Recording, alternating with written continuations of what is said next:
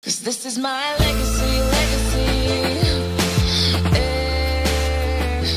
Hai, Shalom. Selamat datang ke Legacy.tv dalam pengajian pendek kita melalui Injil Markus. Persoalan yang ingin ajak kita perhatikan dalam episod ini adalah ini. Bagaimana Yesus memperbaharui perjamuan Paskah itu persoalan yang penting. Kerana dalam petikan yang kita akan pelajari, kita akan mendapati bagaimana Yesus dan juga para muridnya akan menyambut perjamuan Paskah. Dan itu perkara yang biasa dilakukan oleh orang Yahudi. Tetapi ada sesuatu yang baru. Adapun Yesus kita perhatikan dia memperbaharui perjamuan Paskah. Yesus memberi makna baru tentang perjamuan Paskah. Dan apakah itu? Dan itu yang kita akan perhatikan. Nah, sebelum itu mari saya ajak kita untuk membaca petikan ini dahulu daripada Markus bab yang ke-14 daripada ayat ke-22 hingga ayat ke-26. Saya bacakan melalui LVB Alkitab versi Borneo. Ketika mereka sedang makan, Yesus mengambil roti, mengucap syukur, lalu memecah-mecahkan dan memberikannya kepada murid-muridnya sambil berkata, Ambillah, ini tubuhku. Kemudian dia mengambil cawan air anggur. Selepas mengucap syukur, dia memberikannya kepada mereka. Lalu mereka semua minum dari cawan itu. Dia berkata kepada mereka, ini darah perjanjianku yang ditumpahkan untuk ramai orang. Sesungguhnya, aku berkata kepadamu, aku tidak akan minum air anggur lagi hinggalah pada hari aku minum yang baru dalam kerajaan Allah. Setelah menyanyikan sebuah lagu suci, mereka pun beredar ke Bukit Zaitun. Ini firman Tuhan. Nah, mari saya set the konteks tentang firman ini. Uh, apabila kita membaca daripada Markus bab yang ke-14 ayat ke-16, dikatakan dua orang murid Yesus yang dikerahkan oleh Yesus, mereka menyediakan perjamuan Paskah. Dan biasanya mereka akan menyediakan sekurang-kurangnya enam perkara ini. Saya rasakan banyak lagi, tapi enam perkara ini. Yang pertama harus ada anak domba Paskah yang telah dipanggang. Yang kedua harus ada roti tidak beragi. Yang ketiga harus ada mangkuk yang berisi dengan air garam. Yang keempat ada herba-herba pahit. Yang kelima ada buah ataupun puri buah-buah ataupun kekacang. Dan yang keenam ada empat cawan wine ataupun air anggur yang dicampur sedikit dengan air. Nah, dalam keenam ini semuanya ada simbolik tertentu, ada maksud-maksud tertentu. Tetapi saya ingin highlight dengan kita tiga perkara ataupun tiga hal ini. Yang pertama ialah tentang anak domba Paskah. Nah, menurut komentari, ya, beberapa komentari mengatakan bahawa apabila kita melihat bagaimana Yesus uh, makan perjamuan Paskah dengan para muridnya, mereka berkata mereka tidak mendapati bahawa mereka makan anak domba Paskah. Dan ada mengatakan bahawa perjamuan yang Yesus lakukan ini mungkin sehari sebelum ataupun preview sebelum Paskah yang sebenar. Ada juga yang mengatakan bahawa tidak diperlukan anak domba Paskah kerana firman secara spiritual mengatakan bahawa Yesus sendiri ialah anak domba Paskah. Oleh itu mungkin mereka tidak makan anak domba Paskah kerana Yesus sendiri ada di situ. Nah itu mereka ambil daripada 1 Korintius bab yang kelima ayat ketujuh di mana Paulus berkata Kristus domba Paskah kita. Nah, pada pandangan saya, mereka memang akan ada makan anak domba Paskah, tetapi tidak di-highlight ataupun tidak diberitahu kepada kita. Uh, dan juga uh, sama juga seperti contohnya mangkuk yang berisi air garam. Saya rasakan itu memang ada dalam perayaan Paskah, tetapi tidak dinyatakan. Jadi begitu juga, saya rasakan anak domba Paskah yang dipanggang itu ada semasa mereka Yesus dan juga para muridnya makan dalam perjamuan ini. Tapi walaupun yang penting kita akan perhatikan ini perjamuan yang terakhir antara Yesus dengan para muridnya dan kita tahu secara spiritual Yesus memang Kristus domba Paskah kita. Dan inilah yang dilakukan oleh Yesus di kayu salib. Yesus akan mati bagi dosa manusia. Sebagaimana Yohanes Pembaptis mengatakan tentang Yesus, Yesus ialah anak domba, the Lamb of God who take away the sin of the world. Dan itu simbolik yang sangat-sangat penting dalam perjamuan Paskah dan juga bagi kita dalam perjanjian baru kita melihat Yesus sebagai domba Allah yang mati bagi kita. Nah, elemen yang kedua yang saya ingin highlight yaitu tentang roti tidak beragi. Kenapa mereka menggunakan roti tidak beragi? Itu kerana kalau kamu lihat dalam Markus bab yang ke-14 ayat ke-12 dikatakan ini ialah hari pertama perayaan roti tidak beragi. Jadi apabila kita membaca tentang Yesus memecah-mecahkan roti, Yesus memecah-mecahkan roti tidak beragi. Dan itu juga ada simboliknya yang tertentu. Nah, saya juga akan highlight kita dengan empat cawan air wine ataupun uh, wine ataupun air anggur yang dicampur sedikit dengan air pada ketika itu. Apakah maksud empat cawan wine ini? Dan ini sangat-sangat menarik. Ini tidak dinyatakan di dalam uh, perjanjian lama.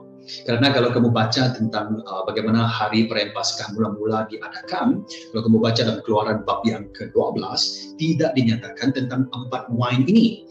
Tetapi uh, over time, selepas lama kelamaan daripada perjanjian lama sampai masa dalam perjanjian baru, ada suatu tradisi ataupun ada suatu uh, uh, perkara yang mereka lakukan dan mereka menggunakan empat cawan ini untuk mengingatkan janji Tuhan kepada orang Israel di dalam kalau kamu baca dalam keluaran bab yang ke-6 ayat yang ke-6 hingga ayat yang ke-8. Nah, saya bacakan dahulu nanti saya jelaskan empat cawan wine itu. Dikatakan begini, uh, Tuhan berkata, berfirman, Akulah Tuhan, Aku akan membebaskan kamu daripada beban kerahan kerja paksa oleh warga Mesir. Aku akan melepaskan kamu daripada perhambaan mereka dan menebus kamu dengan lengan yang terhulur dan hukuman yang besar. Aku akan mengangkat kamu menjadi umatku dan aku akan menjadi Allahmu. Jadi pada ketika ini dalam keluaran bab yang ke-6, mereka membuat uh, suatu tradisi yaitu empat cawan ini simbolik kepada cawan yang pertama apabila Tuhan berkata, aku akan membebaskan kamu. Cawan yang kedua, mereka simbolik sebagai Tuhan berkata, aku akan melepaskan kamu. Cawan yang ketiga, simbolik untuk Tuhan mengatakan bahwa aku akan menebus kamu. Dan cawan yang keempat ialah simbolik untuk mengatakan bahwa Tuhan berkata, aku akan mengangkat kamu. Nah, itu uh, empat cawan yang penting. Dan nanti saya akan ulang balik tentang cawan ini kerana ianya sangat signifikan dengan apa yang Yesus lakukan, yang baru yang Yesus lakukan. Nah, mari kita kembali balik kepada Markus bab yang ke-14 dan kita perhatikan daripada ayat yang ke-22. Ketika mereka sedang makan, Yesus mengambil roti, mengucap syukur, lalu memecah-mecahkan dan memberikannya kepada murid-muridnya sambil berkata, ambillah, ini tubuhku. Apabila Yesus mengambil roti dan uh, mengucap syukur, itu biasanya ada doa uh, khas yang didoakan. Uh, dan dan apabila Yesus memecah-mecahkan roti, itu juga sesuatu yang menarik. Nah, sedikit info bagi kita. Nah, bagi orang Yahudi, mereka melihat roti sebagai pemberian daripada Tuhan. It is a gift from God. Dan mereka merasakan ini tidak hormat kalau kamu potong roti itu menggunakan pisau. Jadi mereka memecah-mecahkan roti sebagai tanda hormat, sebagai tanda, tanda berterima kasih. Kemudian Yesus menyerahkan kepada murid-muridnya dan dia berkata, ini ambillah, ini tubuhku. Kemudian dikatakan ayat yang ke-23, Kemudian dia mengambil cawan air anggur dan selepas mengucap syukur dia memberikannya kepada mereka lalu mereka semua minum dari cawan itu. Nah, dikatakan mengambil uh, cawan air anggur. Dan ini uh, kebanyakan ahli teologian dan juga uh, komentari mengatakan bahawa besar kemungkinan Yesus mengambil cawan yang ketiga. Cawan yang pertama dengan cawan yang kedua itu sudah diminum di awal uh, perjamuan ataupun majlis ini. Ini cawan yang ketiga. Dan kalau kamu lihat uh, uh, paralel dengan uh, keluaran bab yang keenam tadi, cawan yang ketiga bermaksud ataupun sebagai simbolik Tuhan mengatakan bahawa aku akan menebus kamu. Dan itulah cawan yang Yesus gunakan. Yesus mengambil cawan yang ketiga, aku akan menebus kamu dan juga mengucap syukur kepada Tuhan, lagi doa khas, kemudian dia memberi uh, cawan itu dan diminum oleh semua murid Yesus pada ketika itu. Dan Yesus berkata, ini darah perjanjianku yang ditumpahkan untuk ramai orang. Sesungguhnya aku berkata kepadamu, aku tidak akan minum air anggur lagi hinggalah pada hari aku minum yang baru dalam kerajaan Allah. And that is sangat-sangat interesting. Now, uh, setakat ini apabila kita, saya membawa kita untuk membaca balik dan mengimajinasikan apa yang berlaku pada ketika ini, uh, seolah-olah perjamuan Paskah ini seperti perjamuan yang biasa. Tetapi ada yang baru. Yesus memberi makna yang baru. Ini yang baru, sekurang-kurangnya ada empat yang saya perhatikan. Yang pertama, fokus. Fokus. Nah, perjamuan Paskah fokus utamanya ialah dalam perjanjian lama sampai pada masa ini pejam, uh, fokus dia ialah uh, perjamuan Paskah ini ialah untuk mengingatkan bagaimana Tuhan mengeluarkan orang Israel ataupun membebaskan orang Israel daripada perhambaan di Mesir. Tetapi sekarang Yesus mengubah fokus perjamuan Paskah ini dengan berfokus kepada bagaimana Yesus Kristus sendiri, anak domba Allah, yang akan membebaskan manusia daripada dosa melalui Yesus Kristus sendiri. Fokus sekarang sudah berbeza ataupun sudah berubah. Nah, kenapa saya berkata begini? Kalau kita baca dalam petikan ini, Yesus katakan, ambillah ini tubuhku, kata Yesus. Minumlah ini darah perjanjianku, kata Yesus. Dan kalau kita lihat dalam petikan Lukas uh, bab yang ke-22 ayat ke-19, apabila Yesus memecah-mecahkan roti, ada lagi Yesus katakan, lakukanlah ini sebagai peringatan kepadaku, kata Yesus. Nah, semua ini apabila kita melihat uh, perjamuan Paskah tidak harusnya berfokus kepada host ataupun orang yang akan mengadakan majlis ketua majlis uh, perjamuan ini, tapi Yesus berkata bahwa ambil ini roti, roti yang tidak beragi ini seperti tubuhku. Ambil air anggur ini uh, seperti darah perjanjian untukku. Dan Yesus katakan, makanlah ini daripada turun-temurun nanti. Lakukan semuanya untukku, kata Yesus. Sekarang fokusnya berubah menjadi berfokus kepada Yesus Kristus. Dan itulah yang kita lakukan pada masa sekarang di gereja. Kita mengadakan perjamuan kudus ataupun perjamuan uh, suci ataupun the Last Supper ataupun Holy Communion ataupun the Lord's Supper ataupun uh, Eucharist. Itu semua berfokus kepada Yesus Kristus dan apa yang Yesus lakukan di kayu salib. Wow, nah sekarang Yesus mengubahnya, mengubah fokus daripada perhambaan uh, di Mesir, sekarang mengeluarkan umat Israel daripada perhambaan di Mesir sekarang kepada penebusan uh, yang Yesus akan lakukan daripada uh, dosa melalui Yesus Kristus. Dan itu signifikan cawan yang ketiga yang Yesus minum. Ini uh, darah perjanjian Yesus katakan. Dan ini merujuk kepada kita. Apabila Tuhan berkata aku akan menebusmu. Nah perubahan yang kedua ataupun sesuatu yang baru yang kedua ialah perjanjian. Dalam bahasa Inggris dikatakan sebagai testament ataupun covenant. Yesus berkata, ini darah perjanjianku yang ditumpahkan untuk ramai orang. Apakah dimasukkan dengan perjanjian? Nah, apabila kita kembali balik kepada perjanjian lama, ini yang terjadi. Sebagai perjanjian ataupun covenant antara Tuhan dengan orang Israel, uh, Tuhan akan menggunakan darah haiwan uh, melalui perantaraan Nabi Musa. Dia akan merenjis darah haiwan dan ini dikatakan sebagai simbolik ataupun sebagai covenant, sesuatu simbolik kepada covenant antara Tuhan dengan orang Israel. Nah, kalau saya kamu boleh baca semua ini dalam keluaran bab yang ke-24 daripada ayat pertama hingga ayat ke-11. Tapi mari saya highlight ayat yang ke-8. Dikatakan begini, selepas itu, selepas haiwan itu terkorban dan Tuhan mem memberi perintahnya melalui firmannya, selepas itu Musa mengambil darah itu lalu memercikkannya ke atas umat itu dan berkata, Inilah darah perjanjian yang dimaterai Tuhan dengan kamu sehubungan dengan segala firman-Nya ini, kata Musa. Jadi itu bagaimana perjanjian lama terjadi. Dipercik dengan darah haiwan. Tetapi kita sedar bahwa darah hewan itu tidak boleh menghapuskan dosa manusia selama-lamanya. Kalau kita lihat dalam bait suci, mereka akan mengadakan korban setiap tahun. Malah setiap hari mereka harus mengadakan korban. Haiwan, darah haiwan itu tidak boleh menebus dosa manusia selama-lamanya. Tetapi kita mendapati ada sesuatu yang baru. Malah dalam perjanjian lama itu sendiri, uh, Tuhan telah berfirman. Dia sudah berjanji kepada umat Israel. Dia akan membuat perjanjian baru, New Covenant ataupun New Testament dan ayat yang perjanjian itu pun uh, directly yang digunakan uh, perjanjian baru. Dan itu kamu boleh baca dalam buku uh, Ezekiel dan juga Jeremiah. Tapi mari saya highlight dengan kita Jeremiah bab yang ke-31 daripada ayat ke-31 hingga ayat ke-34. Tetapi saya hanya akan highlight ayat yang ke uh, mungkin ayat yang ke-31. Tuhan berkata begini, lihatlah akan tiba harinya firman Tuhan apabila aku membuat perjanjian baru dengan keturunan kaum Israel dan keturunan kaum Yahuda Daripada ayat yang ke-33, inilah perjanjian yang akan kubuat dengan keturunan kaum Israel selepas zaman itu. Tuhan berfirman, aku akan letakkan hukumku dalam fikiran mereka dan menuliskannya dalam hati mereka. Aku akan menjadi Allah mereka dan mereka akan menjadi umatku. Jadi kalau kita perhatikan pada ayat yang 31 dikatakan Tuhan berjanji akan membuat perjanjian baru dengan umat Israel dan juga umat ataupun kaum Yahuda. Dan di sini kita melihat apabila Yesus kita pergi kepada Markus bab yang ke-14 dan Yesus berkata, "Ini darah perjanjianku Sekarang Yesus uh, menggenapi apa yang Tuhan telah katakan. Ini perjanjian baru. Dan perjanjian baru ini tidak lagi menggunakan darah hewan, tapi menggunakan darah dom, anak domba Allah, yaitu Yesus Kristus sendiri. Dan ini merujuk tentang kematian Yesus di kayu salib. Dan begini, bagaimana Yesus memperbaharui perjanjian, daripada perjanjian lama kepada perjanjian baru, ialah melalui darah Yesus Kristus sendiri.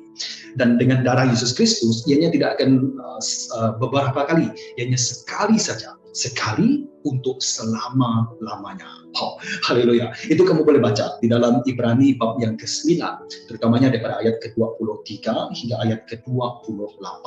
Dengan darah anak domba, Yesus Kristus, sekali untuk selama-lamanya untuk membawa kita kepada perjanjian baru. Itu yang baru yang Yesus lakukan. Yang ketiga, yang ketiga ialah umat pilihan. Nah, ini mungkin kontroversi sedikit. The elect ini juga saya perhatikan sebagai sesuatu yang baru ataupun sesuatu yang kita perhatikan dengan mata yang baru ataupun pengetahuan yang baru. Apabila dikatakan ini darah perjanjianku yang ditumpahkan untuk ramai orang kata Yesus, ayat tentang ramai orang itu juga muncul dalam Markus bab yang ke-10 ayat yang ke-45 apabila Yesus berkata, Demikianlah anak manusia juga datang bukan untuk dilayan tetapi untuk melayani dan untuk menyerahkannya sebagai tebusan bagi ramai orang. Jadi apakah dimaksudkan dengan bagi ramai orang? Now, most uh, theologian dan juga uh, komentar, mereka akan mengatakan bahwa uh, bagi ramai orang ini merujuk kepada the elect. Dan besar kemungkinan, ianya kalau kita perhatikan dalam perjanjian lama, ianya merujuk kepada siapa? Ianya lebih merujuk kepada orang Israel, uh, ataupun kaum Israel, ataupun kaum Yehuda. Jadi itu, dan mereka lah the elect. Tetapi apabila kita perhatikan petikan firman ini, ini darah perjanjianku, kata Tuhan, yang ditumpahkan untuk ramai orang. Sekarang kita melihat the elect menjadi lebih besar lagi, ataupun lebih luas lagi. Ini bukan hanya merujuk kepada uh, orang Israel, sebagaimana kalau kita saya sudah bacakan tadi dalam Jeremiah bab yang ke-13, kita melihat bagaimana Tuhan mengadakan perjanjian baru dengan kaum Israel dan kaum Yahuda.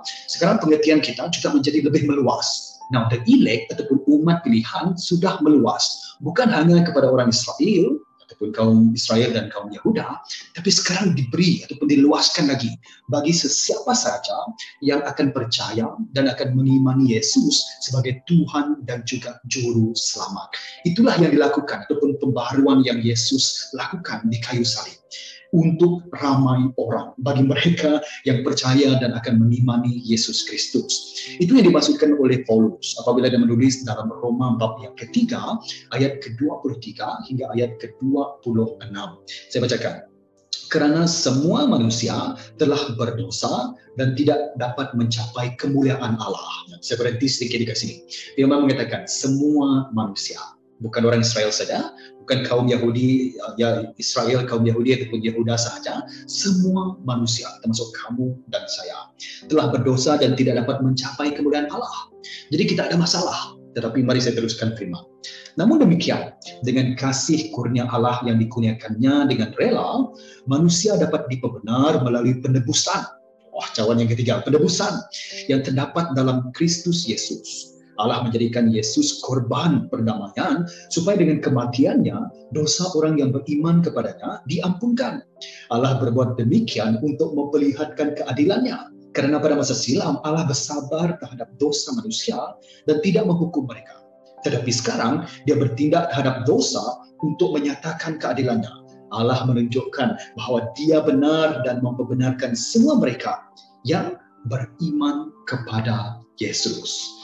Nah, itu kita perhatikan. Pengertian kita tentang umat pilihan Allah.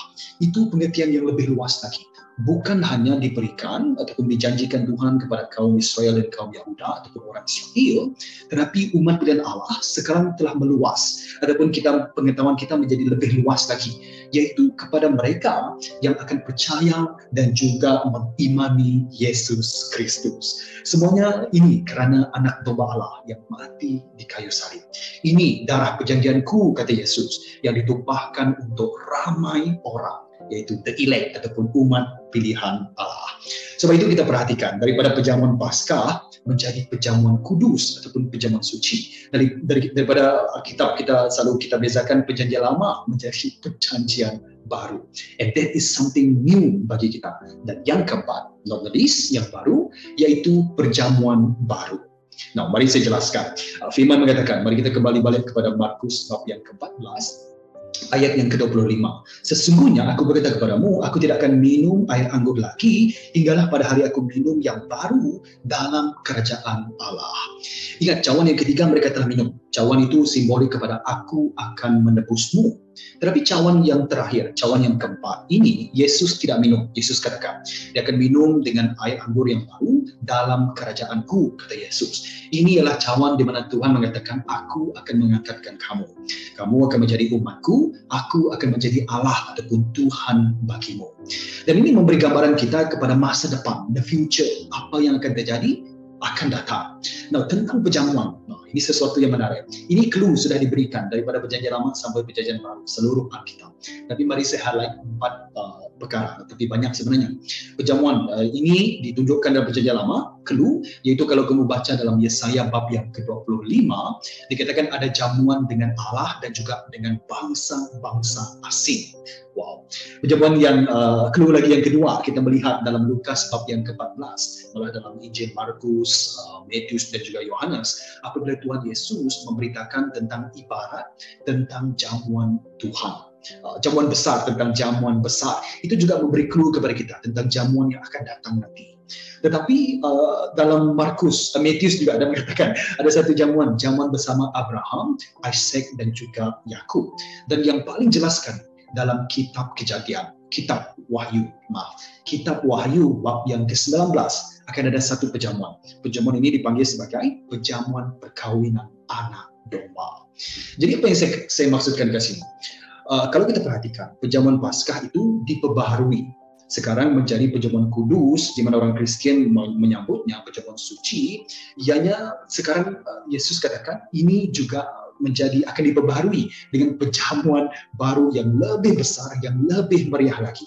Nah, dipendekkan cerita, perjamuan Paskah ialah gambaran kepada perjamuan kudus ataupun perjamuan suci yang kita uh, yang kita lakukan sekarang. Tapi ini juga uh, hanya preview uh, gambaran kepada perjamuan besar yang akan terjadi suatu hari nanti. Yesus sekarang merujuk kepada the future tentang akan datang. Kita akan makan bersama dengan Yesus Kristus bagi mereka yang percaya dan mengimani Yesus Kristus dalam perjamuan perkawinan anak domba. Perjamuan yang besar, perjamuan yang meriah, perjamuan bersama dengan bangsa-bangsa yang lain, perjamuan besar, perjamuan yang makan bersama Abraham, Isaac dengan Yakub dan juga semua orang orang-orang suci. Kita akan mengadakan perjamuan yang besar dan itu yang akan terjadi pada masa akan datang. Ini memberikan kita image yang baru ataupun uh, uh, pengertian yang baru tentang perjamuan kudus dan perjamuan suci. Jadi sekurang-kurangnya ada empat perkara yang baru yang Yesus introduce ataupun perkenalkan dalam petikan ini. Yang pertama, fokus baru daripada uh, bagaimana pembebasan uh, daripada perhambaan di Mesir menjadi kepada penebusan yang dilakukan oleh Yesus Kristus bagi dosa manusia. Fokusnya sekarang kepada Yesus Kristus. Tubuhku, uh, darah perjanjianku, lakukan semuanya untukku, kata Yesus. The focus is on Jesus. Yang baru yang kedua ialah perjanjian baru. Oh, bukan lagi dengan darah hewan yang harus dilakukan berkali-kali, tapi dengan darah anak domba sekali untuk selama-lamanya. Ini dan uh, ini perjanjian baru. Dan yang ketiga ialah umat Allah, uh, umat pilihan. Ini mungkin tidak baru, tapi pengertian yang lebih meluas lagi, di mana umat Allah dan elect umat pilihan Allah itu sekarang diperluaskan bagi sesiapa saja yang akan percaya dan juga mengimani Yesus Kristus sebagai Tuhan dan juga Juru Selamat. Dan yang keempat, ialah perjamuan besar yang meriah. Ini sesuatu baru. Kita akan look forward tentang apa yang akan terjadi apabila Yesus datang kali kedua. And all of this is something, many things new yang Yesus uh, bawa introduce dalam perjamuan uh, Paskah yang terakhir dengan para muridnya. Dan kalau kamu tidak perasan, kamu akan perhatikan apa saja apabila Yesus datang, it always be something new is happening. Sudahkah kamu menerima Yesus sebagai Tuhan dan juga Juru Selamat? Do you need something new in your life? Something new, new life, new uh, view, new understanding of God. Datang kepada Yesus Kristus. Karena setiap kali Yesus ada, there will always be something new. Jadi kita berjumpa lagi dalam episode yang akan datang. Shalom. Cause this is my legacy, legacy.